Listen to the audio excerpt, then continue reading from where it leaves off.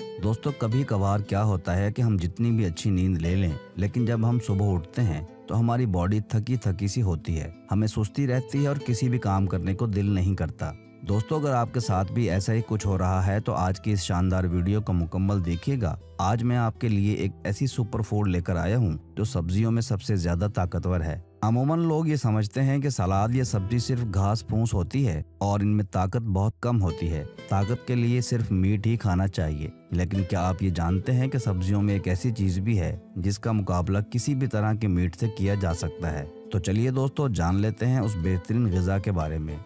जिस गजा की मैं बात करने लगा हूँ, उसका नाम है स्पायरोलिना। ये एक तरह की घास ही होती है और इसको हम काई भी कह सकते हैं। यानी कि खड़े पानी में जमने वाली हरी हरी काई। बिल्कुल इसी तरह की ही एक घास होती है, जिसे स्पायरोलिना कहते हैं, और ये वो घास नहीं है जो आपके इर्द गिर्द पानी में नज़र आती है, बल्कि ये वो काई है जो समंदर में पाई जाती है। दोस्तों, क्या आप ये जानते हैं? ज़मीन पर मौजूद जानदारों में सबसे लंबी उम्र किस जानदार की होती है? और वो है कछुआ। कछुए के बारे में जब नासा की रिसर्च सामने आई कि आखिर क्या वजह है कछुए की लंबी उम्र की तो दो चीज़ें सामने आई। नंबर एक तो ये है कि कछुआ पैदाइशी तौर पर ही वो खसूसियात रखता है जो 300, 400 या 500 साल तक जी सकता है। और दूसरी चीज़ है वो हरी या नीली घास जो समंदर में जाकर वो खाता है। और इसी घास को हम स्पायरोलिना कहते हैं। तहकीक से ये बात भी साबित हुई है कि अगर इंसान इस घास को खा लेता है तो इस इंसान को इतनी ताकत मिलती है जो 100 किलो फ्रूट खाने से भी नहीं मिलती। इस बात को इस तरह से समझ लीजिए कि जितनी एनर्जी एक हज़ार किलो फ्रूट में होती है, उतनी एनर्जी सिर्फ़ एक किलो स्पैरोलिना से आपको मिल सकती है।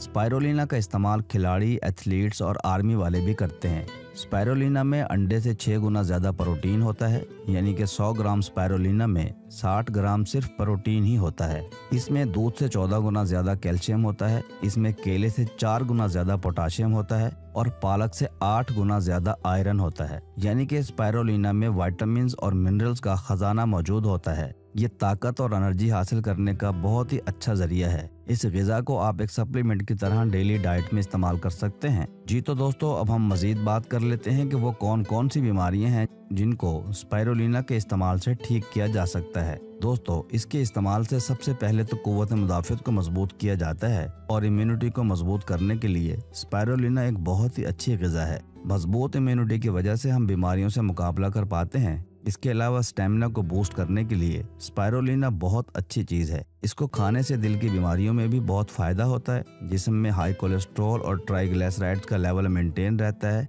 जिसकी वजह से हार्ट अटैक होने का खतरा कम हो जाता है। इसके अलावा, खून की कमी को दूर करने के लिए भी ये बहुत अच्छी गजा है, क्योंकि आजकल हम जो गजाएँ खाते हैं, उनमें आयरन बिल्कुल नहीं होता, और इसी वजह से हमारे जिस्म में खून की कमी हो जाती है, और खून की कमी होने से बाल गिरते हैं, जिसम में सुस्ती हो जाती है। अगर आप स्पायरोलिना खा लेते हैं तो खून की कमी कभी भी नहीं होगी। इसके अलावा शुगर के मरीजों के लिए ये बहुत अच्छी चीज़ है। आजकल शुगर बड़ी बीमारियों में से एक बीमारी बन चुकी है। हर दूसरी या तीसरी फैमिली में कोई ना कोई शुगर का मरीज़ मौजूद है। यहाँ तक कि आजकल तो बच्चों को भी शुगर हो रही है। शुगर जैसी मोजी बीमारी को कंट्रोल करने के लिए आप स्पायरोलिना का इस्तेमाल कर सकते हैं, वरना आपको सारी उम्र शुगर की दवाएँ खानी पड़ेंगी। सबसे अच्छी बात यह है कि स्पायरोलिना में किसी भी तरह का कोई केमिकल नहीं है। आप इस डाइट को एक तरह की नेचुरल मेडिसिन भी कह सकते हैं। अगर आपके बाल झड़ रहे हैं, बाल कमज़ोर हैं तो स्पायरोलिना का इस्तेमाल ज़रूर करें। बाल गिरना रुक जाएँगे। इसके अलावा अगर आप बालों के गिरने से बहुत ज़्यादा परेशान हैं और बहुत से नुस्खे इस्तेमाल कर चुके हैं तो हमारे चैनल पर हेयर टॉनिक बनाने की मुकम्मल रेसिपी शेयर की गई है। उस वीडियो का लिंक आपको डिस्क्रिप्शन और आई बटन से मिल जाएगा, उसे ज़रूर देखिएगा।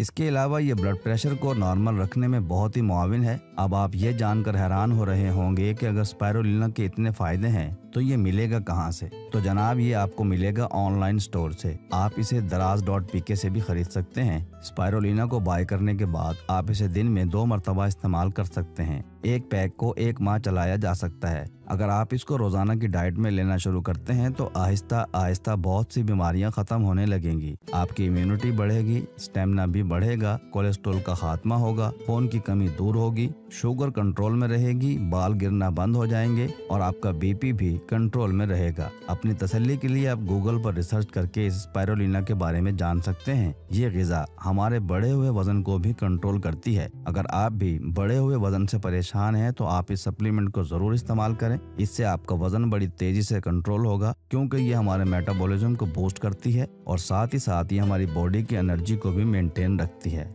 इसके अलावा ये कैंसर जैसी बीमारी के खिलाफ भी काम करती है। अगर आप रोज़ाना स्पायरोलिना लेते हैं तो इसमें मौजूद भरपूर एंटीऑक्सीडेंट्स आपको कैंसर जैसी बीमारी से बचा कर रखेंगे। जी तो दोस्तों, देखा आपने किस तरह से एक छोटी सी चीज़ हमें कितने बड़े बड़े फ़ायदे दे रही है। आप एक मरतबा इसको ट्राई ज़रूर कीजिएगा। ये आपको बहुत सी बीमारियों से बचा कर रखेगी। अगर आप अपनी डाइट में अच्छी चीज़ों को शामिल करेंगे तो ही आपकी बॉडी सेहतमंद रहेगी। उम्मीद करता हूँ कि आपको ये बात अच्छी तरह से समझ आ गई होगी। वीडियो अच्छी लगी हो तो इसे लाइक ज़रूर कीजिएगा और दोस्तों के साथ इसे शेयर भी ज़रूर कीजिएगा।